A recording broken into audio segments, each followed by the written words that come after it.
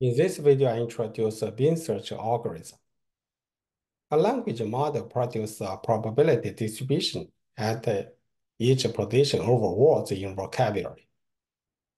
Beam search algorithm finds a better fit sentence from the output of a language model close to the ground truth sentence.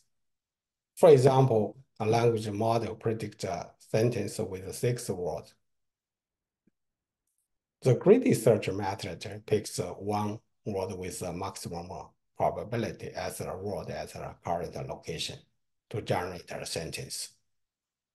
That sentence may not the best fit sentence to the truth sentence. To improve the performance, in search method picks multiple top words at each time to generate a set of candidate sentences. For example, if the beam with the key is three, that means we uh, pick the three words at each time. And then now we use this three words at each time to generate a set of candidate sentences.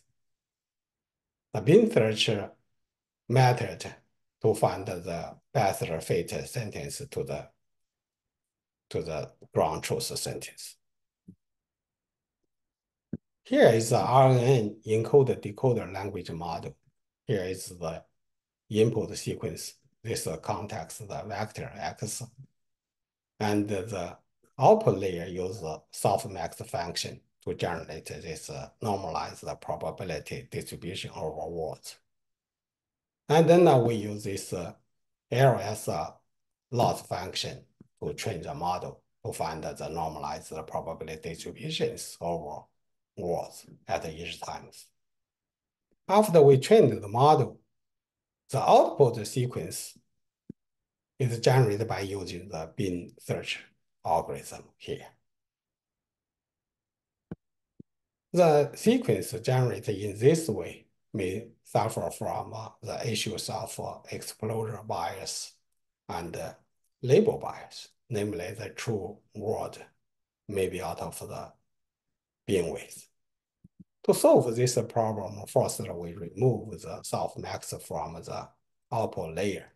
That means the model generates non-normalized score distribution here.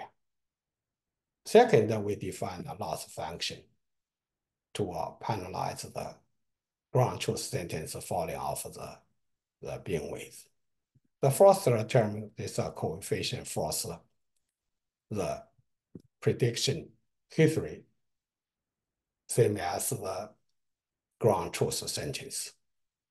And this term here is the score of uh, this uh, ground truth, and this score for the prediction with the minimum score.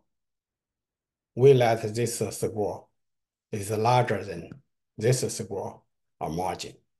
That means make sure this ground truth is inside the inside the beam width.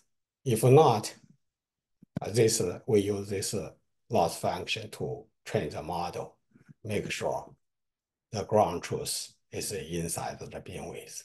For example, we have a ground truth sentence here uh, at a time for runs originally out of the, for the beam width. By using this uh, loss function to train the model, we can put this uh, ground truth word inside the beam width to generate the correct or the better fit sentence closer to the ground truth sentence. For more details, please check with this reference. Thank you. Bye.